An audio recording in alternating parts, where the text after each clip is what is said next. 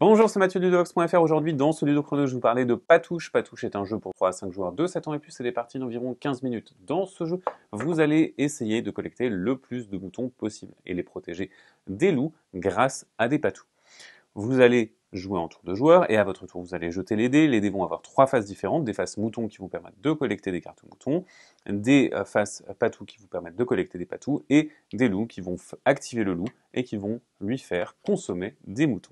Lorsque c'est mon tour de jouer, je lance les dés et je vais devoir garder au minimum un résultat.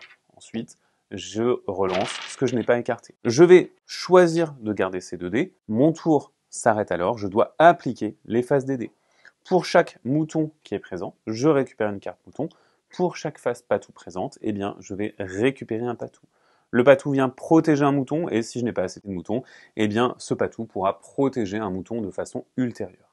Maintenant, c'est au tour du joueur suivant de jouer. Admettons que le joueur suivant fasse deux moutons et un patou, eh bien, il va faire ceci, et c'est au tour du joueur d'après. Et le joueur d'après, on va imaginer qu'il a quelque chose de différent, qu'il fasse par exemple deux faces de loup et un mouton. Les faces de loup, on doit les résoudre avant toutes les autres faces de dés. Et qu'est-ce que ça veut dire? Eh bien, ça veut dire que le joueur qui a le jeton loup le passe au joueur à sa gauche, et que le joueur à sa gauche doit défausser autant de moutons non protégés qu'il y a de faces de loup présentes. Ici, ce joueur devrait donc défausser deux moutons puisqu'il y a deux faces de loup. Cependant, il y a un mouton qui est protégé et donc ce mouton seul va être défaussé. Ensuite, le joueur va finir son tour, il va récupérer un mouton et ça revient à moi.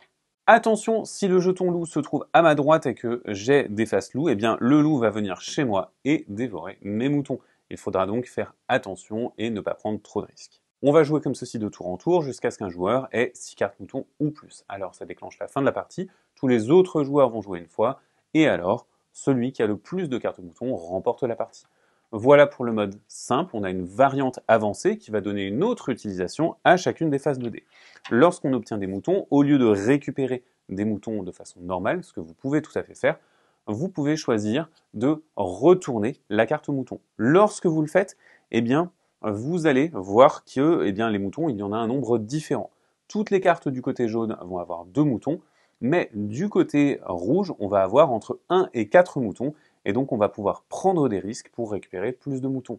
Et au lieu de tout simplement gagner la partie en ayant le plus de cartes moutons, on va gagner la partie en ayant le plus de moutons, et donc certaines cartes auront plus de valeur que d'autres et seront plus intéressantes à protéger avec des patous. Lorsque vous récupérez un patou, c'est un petit peu la même chose, vous allez choisir soit de récupérer le patou du côté jaune, du côté basique, soit de le retourner du côté avancé. On a des patous normaux du côté rouge, mais on a des patous avec des effets spéciaux. Par exemple, le patou fatigué, eh bien, il est fatigué, donc il ne fait rien du tout, il ne protège personne. On a d'autres patous avec des effets spéciaux. Nous avons le bélier. Le bélier compte à la fois comme un patou et comme un mouton. Nous avons super patou. Lorsque vous récupérez super patou, eh bien, elle peut protéger jusqu'à deux moutons, comme ceci. Et nous avons le loup déguisé en mouton. Et lorsque vous récupérez eh bien, le euh, loup déguisé en mouton, il va tout simplement dévorer la carte mouton qu'il était censé protéger. Il me reste à vous parler des faces loups. Vous pouvez les jouer bien entendu comme précédemment, mais vous avez une autre option. Pour chaque face de loup obtenue, vous allez pouvoir déplacer le loup d'un joueur, et alors le loup ne mangera qu'un seul mouton, quoi qu'il arrive. Mais ça va vous permettre de manipuler le loup un petit peu plus. Voilà pour Patouche, que ce soit son mode de base ou sa variante avancée. C'est donc un jeu dans lequel vous allez devoir collecter des moutons, les protéger et gare au loup il pourrait essayer d'en dévorer. Maintenant, c'est à vous de jouer. À bientôt sur ludovox.fr.